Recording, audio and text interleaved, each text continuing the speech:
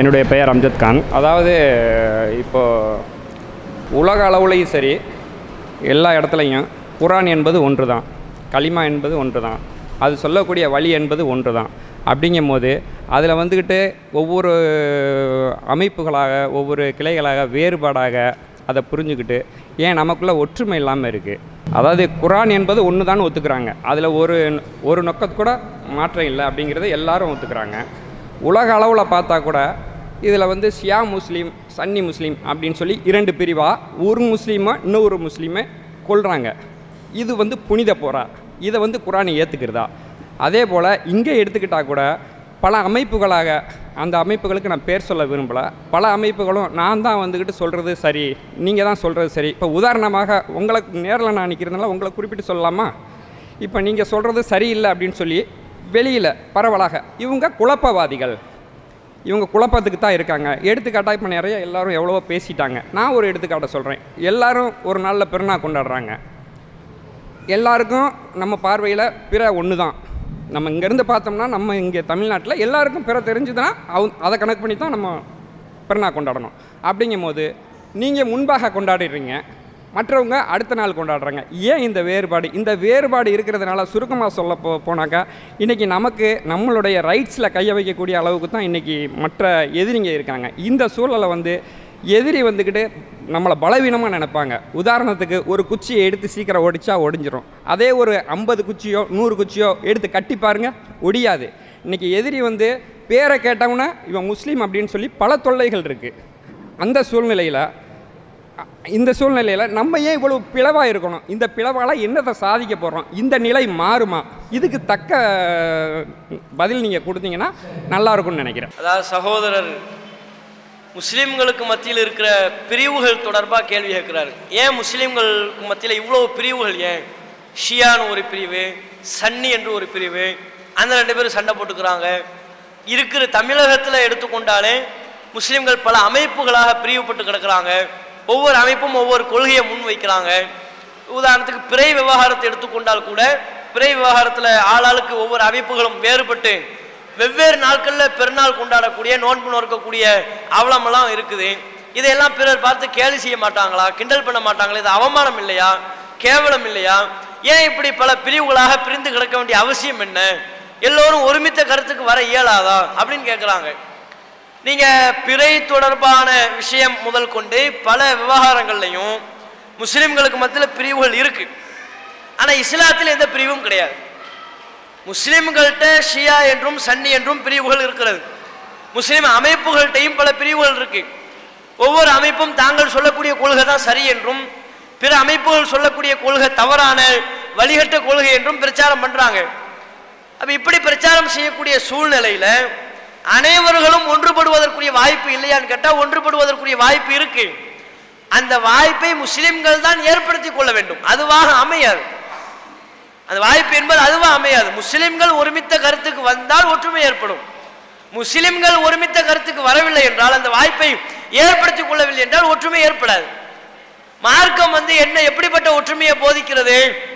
அனைத்து முஸ்லிம்களுக்கும் ஒரே ஒருமித்த கருத்து ஏற்படுவதாக இருந்தால் நான் பிறை விவகாரத்துக்குள்ளே வரலை. பிறை விவாகரத்தை இறுதியில் நம்ம சொல்லுவோம். ஏன்னா அதை பொறுத்தவரை அதனுடைய மார்க்கத்தின் நிலைப்பாடு வேறு. ஒரே திருமறை குரான் ஒரே இறைவன் ஒரே பிறை. அதனால ஒரே பெரு உலகம் முழுக்க ஒரே பெருநாள் தான் இருக்கணுங்கிற தத்துவத்தை இஸ்லாம் ஏற்றுக்கலை குரான் ஒன்று தான் ரசூலுதா ஒன்று தான் இறைவன் ஒருவன் தான் பிறையும் ஒரே ஒரு- ஒரு பிறை தான். அதனால பெருநாளும் உலகம் முழுக்க ஒரே பெருநாள் தான் வரணும். இந்த தத்துவத்தை இஸ்லாம் ஏற்கலை. இரண்டு நாட்கள்ல வேறுபடலாம். அதாவது என்ன? இரண்டு நாள் என்றால் ஒரு நாட்டில் உள்ளவர்கள் ஒரு நாளையும் வேறு நாட்டில் இருப்பவர்கள் இன்னொரு நாளையும் பெருநாளை கொண்டாடுவதற்கு வாய்ப்பு உண்டு. அப்படி கொண்டாடப்படுவதற்குரிய வழிமுறை இருக்குன்னு தான் குரான் சொல்லுது. அது தனி டாபிக் அது போக சகோதரர் குறிப்பிடுகிற மார்க்க ரீதியா ஒரு ஒரு முஸ்லிம்களுக்கு மத்தியில் இந்த பிரிவுகள்லாம் இல்லாம ஒரு ஒற்றுமை ஏற்படுவதற்கு என்ன வாய்ப்புன்னு கேட்டா ஒரு வாய்ப்பு இருக்கு. குரான் அந்த வழிமுறையை முன்வைக்கிறது. அது என்ன வழிமுறை? ஆரம்பத்திலே நம்ம அது தொடர்பாக குறிப்பிட்டிருக்கிறோம். இறை செய்தியை மட்டும்தான் பின்பற்றுவோம் என்பதில் ஒட்டுமொத்த முஸ்லிம்களும் ஒருமித்த கருத்துக்குள் வருவார்களே ஆனால் நீங்கள் சொல்வதைப் போல பல அமைப்புகள் இருக்க வேண்டிய அவசியமும் இல்லை. ஒவ்வொரு அமைப்பும் நான் சொல்ற கொள்கை தான் சரின்னு சொல்ல வேண்டிய தேவையும் இல்லை. எப்ப அந்த அவசியமோ தேவையோ ஏற்படாது இறை செய்தியை மட்டுமே பின்பற்றுவோம் என்கிற நிலைப்பாட்டுக்கு எல்லாரும் வரணும். அதுல ஒற்றுமையா இருக்கணும். அல்லாவுடைய செய்தியை மட்டும்தான் பின்பற்றுவோம். ஏன்னா குரான் அதை தான் நல்லா சொல்றான். இத்தபியும் மா உன்சில இலைக்கும் இறப்பிக்கும் உங்கள் இறைவனின் புறத்திலிருந்து உங்களுக்கு அருளப்பட்டதையே பின்பற்றுங்கள். ஒலா தத்தபியோம் மின் தூணி ஹவுலியா. அதை தாண்டி வேறு பொறுப்பாளர்களை நீங்கள் எடுத்துக்கொள்ளாதீர்கள் அல்லாட்டிருந்து அருளப்பட்டது இறை செய்தி எது? அதை மட்டும் ஃபாலோ பண்ணுங்க. அப்போ இறை செய்தியை மட்டுமே ஃபாலோ பண்ணுவோம் பின்பற்றுவோம் என்பதில் அனைத்து முஸ்லிம்களும் ஒருமித்த கருத்துக்கு வந்துவிட்டால் முஸ்லிம்களுக்கு மத்தியில் பல பிரிவுகள் இருக்காது. பல அமைப்புகள் இருக்காது. இது சன்னி பிரிவு இது ஷியா பிரிவுன்னு இருக்காது. இது அந்த அமைப்பு இது இந்த அமைப்புன்னு இருக்காது சண்டை சச்சரவு இருக்காது. நான் சொல்றது தான் சரி நீ சொல்றது தப்புங்கிற கொள்கை முழக்கங்கள் இருக்காது. எல்லோரும் ஒருமித்த கருத்துக்கு வந்துடும் ஆனால் இதில் அசம்பிள் ஆகணும். இதில் அல்லாவுடைய செய்தியை மட்டும்தான் பின்பற்றுவோம். வேறு எதையும் பின்பற்ற மாட்டோம். இந்த ஒற்றுமையை தான் குரான் நமக்கு போதிக்குது. வஅத்தஸிமு பிஹப்லில்லாஹி ஜமீஆ. எல்லாரும் சேர்ந்து அல்லாவுடைய செய்தியை பின்பற்றுங்க. குரான் என்கிற அல்லாவுடைய கயிற்றை பற்றி பிடித்துக் கொள்ளுங்கள். அதுல ஆளாளுக்கு பிரிஞ்சு நிக்காதீங்கன்னு தான் குரான் சொல்லுது. அப்ப அனைத்து முஸ்லிம்களும் அனைத்து அமைப்புகளும் என்ன கொள்கைக்கு வரணும்? அல்லாவுடைய செய்தியை மட்டும்தான் பின்பற்றுவோம் என்கிற கொள்கைக்கு வரணும். நீங்க இருக்கிற அமைப்புகளை எல்லாம் யோசிச்சு பாருங்க அளவீடு செஞ்சு பாருங்க. இந்த கொள்கையை தங்கள் கொள்கையா முன்வைக்கிறாங்களா? அல்லாவுடைய செய்தி மட்டும்தான் இஸ்லாம். அதை மட்டும்தான் நாங்கள் ஃபாலோ பண்ணுவோம். எங்க அமைப்பின் சார்பாக நாங்கள் சொல்லுகிற பிரச்சாரங்கள் கொள்கை முழக்கங்கள் எல்லாமே அல்லாவுடைய செய்தியாக மட்டும்தான் இருக்கும். வகை என்று சொல்லப்படுகிற இறை செய்தி அல்லாமல் வேறு எதையும் நாங்கள் பிரச்சாரம் செய்ய மாட்டோம். அப்படின்னு எந்த அமைப்பு தங்களுடைய கொள்கை முழக்கத்தை முன்வைக்கிறார்கள்? தவீர் ஜமாத்தை தாண்டி வேறு எந்த அமைப்பும் இந்த கொள்கை முழக்கத்தை முன்வைக்கவில்லை. அதான் பிரச்சனை. நாங்கள் என்ன கேட்கிறோம்? எங்களுக்கென்று ஒரு தனி அமைப்பு இருக்க வேண்டும் என்று நாங்கள் போதிக்கவில்லை. நாங்க ஒரு தனி ஜமாத்தா இருப்போம் தனி அமைப்பா இருப்போம் தனி பள்ளிவாசல் இருப்போம். அதுவல்ல எங்களுடைய நோக்கம். இறை செய்தியை மட்டுமே பின்பற்றுவதுதான் ஒரு முஸ்லீமின் கடமை. அந்த முஸ்லீமின் கடமையை நிறைவேற்றுவதற்குரிய வாய்ப்பு வழங்கப்பட வேண்டும். அது முஸ்லீம்களுக்கு மத்தியில் பிரச்சாரம் செய்யப்பட வேண்டும். இறை செய்தியை மட்டுமே பின்பற்ற வேண்டும் என்று முழங்கக்கூடிய ஒரு அமைப்பு தமிழகத்தில் இருக்குமே ஆனால் தவு ஜமாத் கலைக்கப்படும். இப்படி ஒரு அமைப்பு இருக்க வேண்டிய அவசியமே இல்லை. ஆனால் தமிழகத்துடைய யதார்த்த நிலை என்ன? நீங்க எல்லா அமைப்புகளையும் உங்க கண் முன்னால கொண்டு வந்து பாருங்க. அது சுன்னத் ஜமாத்துங்கிற அமைப்புகளா இருக்கலாம் ஜாக்கா இருக்கலாம். மார்க்கத்தின் பெயரால் சொல்லி பிரச்சாரம் செய்கிற எந்த அமைப்பா இருந்தாலும் இறை செய்தியை மட்டுமே பின்பற்றுவோம் என்கிற கொலையிலே அவர்கள் இருக்கிறார்கள். அந்த கொலையை மட்டுமா முழங்குகிறார்கள்? அந்த கொலையை மட்டுமா மக்களுக்கு மத்தியில் பிரச்சாரம் செய்கிறார்கள்? இல்லை. இறை செய்தியை பின்பற்றுவோம் என்று சொல்கிறார்கள் அதோடு சேர்த்து சஹாபாக்களை பின்பற்றுவோம் இமாம்களை பின்பற்றுவோம் முன்னோர்களை பின்பற்றுவோம் பெரியார்களை பின்பற்றுவோம். அரசியல் லாபத்திற்காக மார்க்கத்தில் சில தகவல்களை விட்டுக் கொடுப்போம். இப்படியான கொள்கைகள் எல்லாம் மக்களுக்கு மத்தியில் முன்வைக்கப்படுகிறது. அப்ப எப்படி ஒற்றுமை ஏற்படும்? அல்லாஹ்வுடைய செய்தியை மட்டும்தான் பின்பற்ற வேண்டும் என்று ஒரு அமைப்பு சொல்லும்போது அதுக்கு மாற்றமான கொள்கையை பிற அமைப்புகள் முன்வைக்கும் போது கருத்தொற்றுமை ஏற்படுமா? எல்லோரும் ஒரு ஒரு கொள்கை நிலைப்பாட்டில் இருப்பார்களா? இருக்க முடியாது.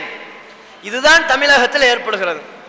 அப்போ ஒவ்வொரு அமைப்புகளாக பிரிந்து கிடப்பதற்குரிய காரணம் கொள்கையில் ஒற்றுமை இல்லை. அல்லாவுடைய செய்தியை மட்டுமே பின்பற்ற வேண்டும் என்கிற கொள்கையில் பிற அமைப்புகள் அந்த கொள்கையை முன்வைக்கவில்லை. அதனால தான் பல அமைப்புகள் ஏற்படுகிறது. ஒவ்வொருத்தரும் தாங்க கொள்கையை தாங்கள் தான் சத்தியத்தில் இருப்பதாக மக்களுக்கு மத்தியில் சொல்லிக் கொள்கிறார்கள். இது போன்ற சந்தர்ப்பத்தில் பாமரர்களாக இருப்பவர்கள் என்ன விளங்கணும்? எந்த அமைப்பு குரான் படி நம்மை அழைக்கிறது? ஹதீஸை நோக்கி நம்மை அழைக்கிறது. அதை யோசிக்கணும். எத்தனையோ பல அமைப்புகள் எதை எதையெல்லாமோ கொள்கையாக முன்வைத்து மக்கள் அழைக்கலாம். குரானை நோக்கி ஹதீஸை நோக்கி அல்லாவுடைய செய்தியை மட்டுமே பின்பற்ற வேண்டும் என்கிற ஏகத்துவத்தை நோக்கி எந்த அமைப்பு நம்மை அழைக்கிறது? அதை பார்க்கணும்.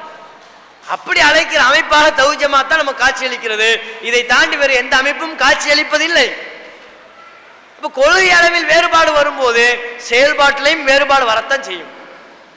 அப்போ அவர்கள் கொள்கையை தங்களை திருத்திக் கொள்வார்களே ஆனால் பிற அமைப்பை சார்ந்தவர்கள் நாங்கள் இறை செய்தியை மட்டுமே பின்பற்றுவோம் இமாம்களை எடுத்துக்கொள்ள மாட்டோம் பெரியார்களை எடுத்துக்கொள்ள மாட்டோம் என்கிற நிலைப்பாட்டுக்கு வந்துட்டா கண்டிப்பா அவர்கள் ஒரு ஒரு கொள்கையில ஒன்றுபட்டு விடலாம். ஒரு வணக்க வழிபாட்டில் ஒன்றுபட்டு விடலாம். அனைவர்களும் ஒருமித்த முறையில் தங்களுடைய வணக்க வழிபாடுகளை நிறைவேற்றுவதற்கு வாய்ப்பா இருக்கும்.